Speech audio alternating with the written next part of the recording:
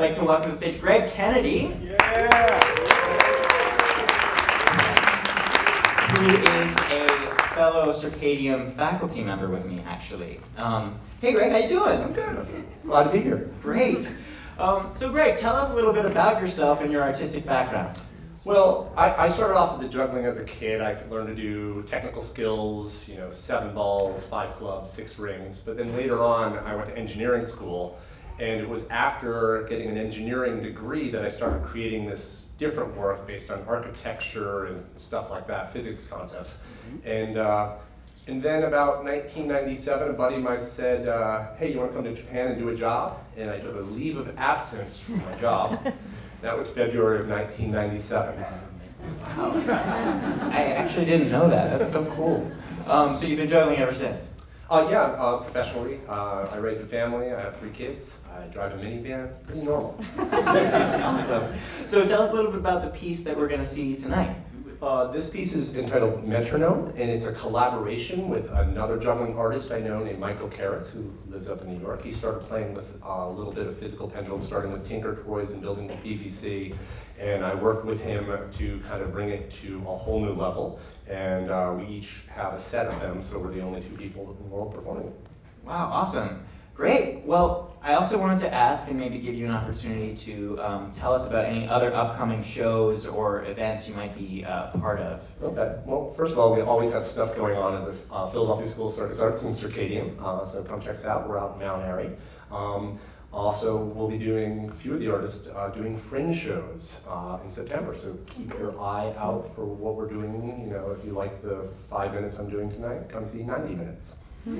Awesome. Here we go. You ready? Yeah. Let's do it. Thanks so much, Greg.